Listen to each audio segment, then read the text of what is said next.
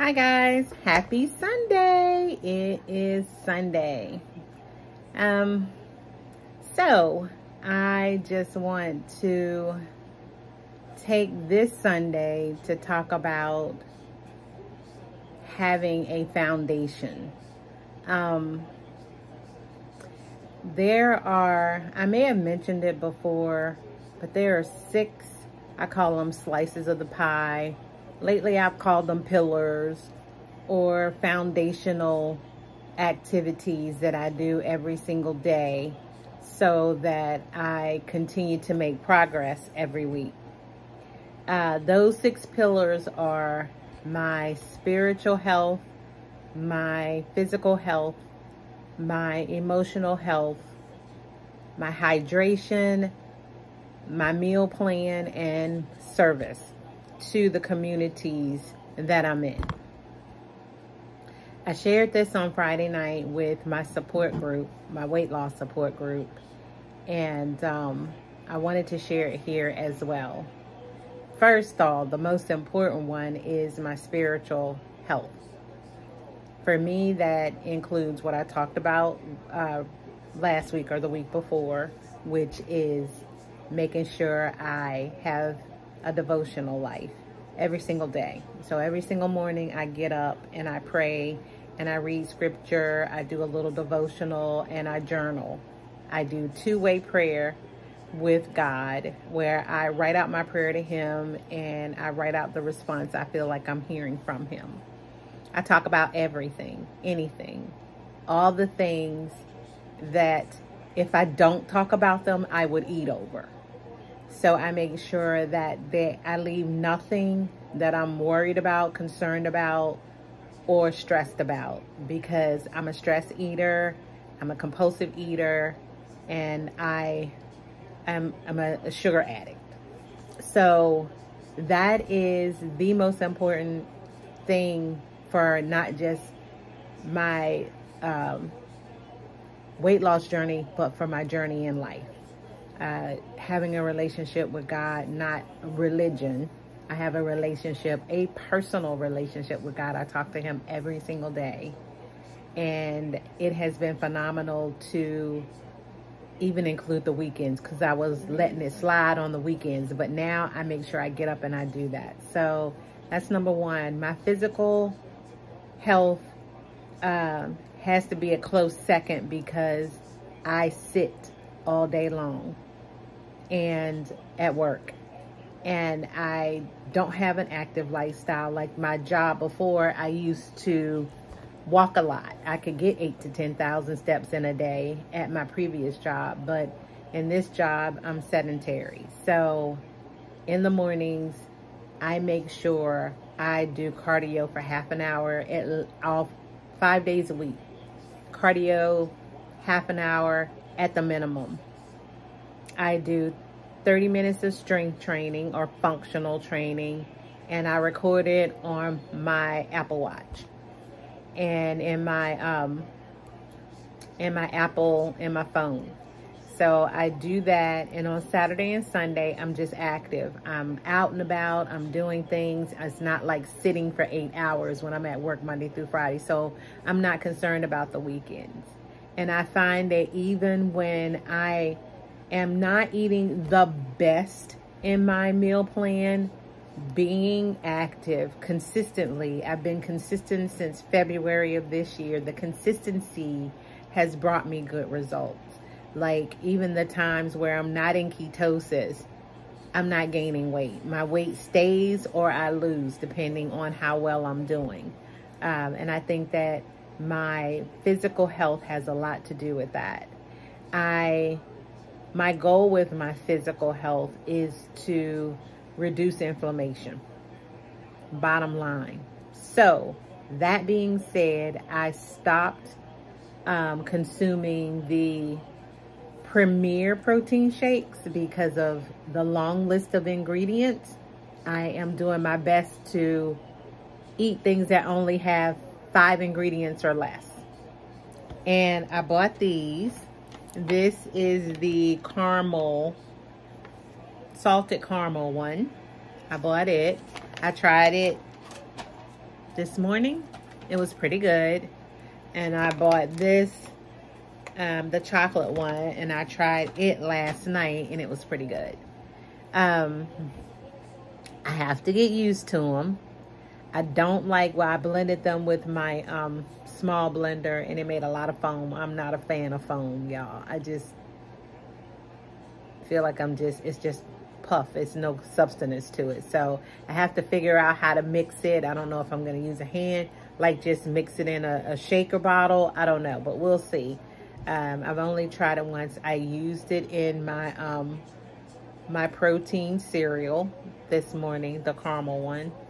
It is not like the cinnamon roll, but I'll make do because my health is more important than my taste buds my taste buds will have to adjust. So I'm adjusting things there. Um, the third pillar is my emotional health. And for me, that means doing things that keep me uh, from spiraling out. Um, I I have a business where I make things out of denim. And so sewing is therapeutic for me. I do some hand sewing when I'm sitting watching TV. I listen to worship music. I listen to podcasts. I, I, I journal. I call a friend or I call a fellow in my um, in my uh, weight loss support group and talk to them. I um, talk to them about things that may be causing me some resentment or some grief and just to make sure that I don't have anything emotionally draining or pulling on me because I will eat over it if I do that. Uh, the fourth thing for me is water because I've had gastric bypass surgery. I can't drink water like I used to. I have to drink an, a, a, a, a sip or two and then I have to wait. And then I can drink some more and then I have to wait. And while talking about that, I know a lot of people use Element. I like Element, I really do, but it's expensive. And I think that I want to continue to use Element here and there, but I find that I really only want it because it's sweetened because I, I did buy the variety pack, which just had the unsweetened one, and it was meh.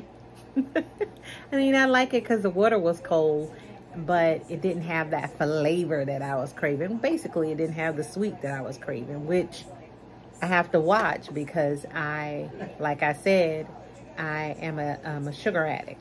So I'm trying out different electrolytes and I really like water without it. I like water in my um, in my new water bottle. Um, I'm really enjoying that because it stays cold throughout the day. And so getting my water in is very important to me. I try to drink as much as I can in the morning before I start eating. And then I try to get as much as I can by the end of the day. So I try to get 64 ounces, which used to be a breeze, but now it takes effort because I have to pause between when I eat and drink. 30 minutes before, I have to stop drinking. Then 30 minutes after I eat, I can start drinking again.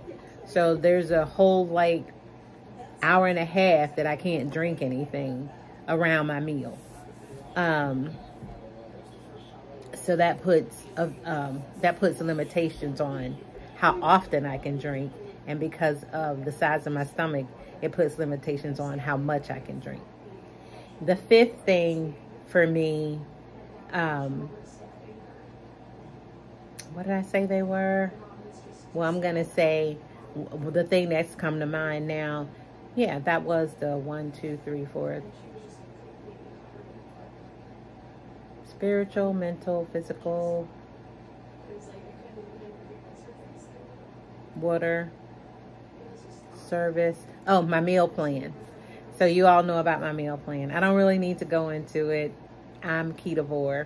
I am low carb, high protein sometimes, high fat other times. I can't do high fat all the time. I do like when I do high fat. Um, and I'm finding ways to incorporate more fat. Like I bought some heavy whipping cream and I added that to my protein shake, which was great. Um, not a lot of it, but enough to give me the high fat that I needed. So I'm still working out my keto life. And the last thing is service. So I am a huge component of reaching out to other people instead of thinking of myself. Like instead of being in my own head about myself all the time, me, me, me, me, me, I choose to see what I can do for other people, how I can be of service, places that I can serve in my communities. I serve at church. Um, I serve by reaching out to other people in my church, being a friend. Um, you know, in order to have friends, you got to be a friend first. So I do that in my church community, uh, in my weight loss community. I serve in meetings. I make phone calls.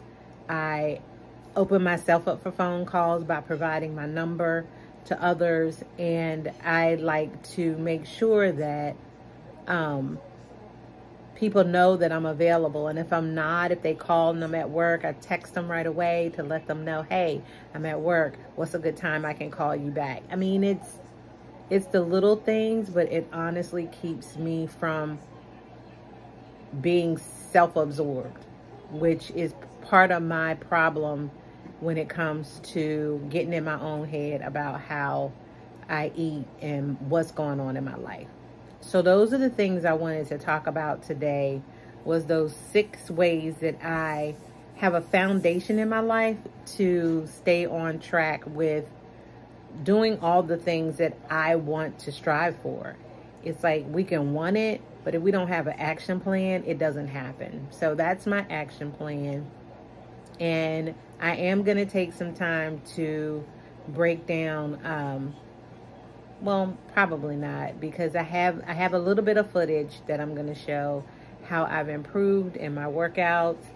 Um, going from barely being able to walk for 10 minutes and walk in place for 10 minutes to now jogging in place for half an hour at 180 beats per minute. That's huge to me. And I am going to continue to look for ways that I can challenge myself and grow in each one of these areas, not just where it looks like you hear people say, oh, I'm on a weight loss journey. Well, this is what my weight loss journey looks like. It's more than just weight loss. It's my life journey. So that's all I want to share today. And thank you so much for listening. Like, comment, subscribe if you like. Uh, I love all the comments that people have been making and the suggestions. You guys have been really, really helpful, and I appreciate it because, like I said from the beginning, I don't know where this is going.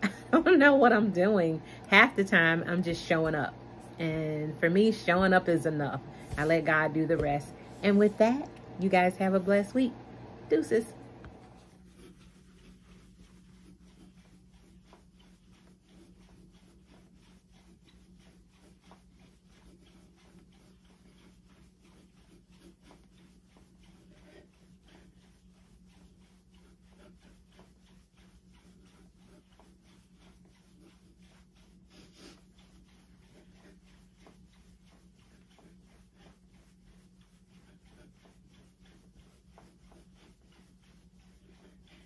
180 beats per minute.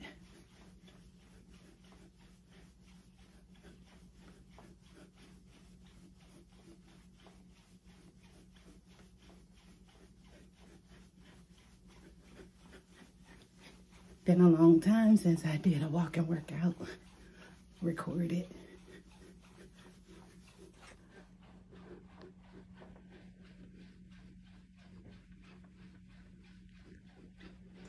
Steady state cardio today.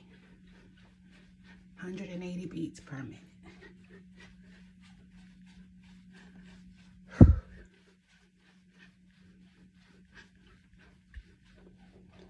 For 30 minutes. It took me a long time to get to where I could do this whole half hour.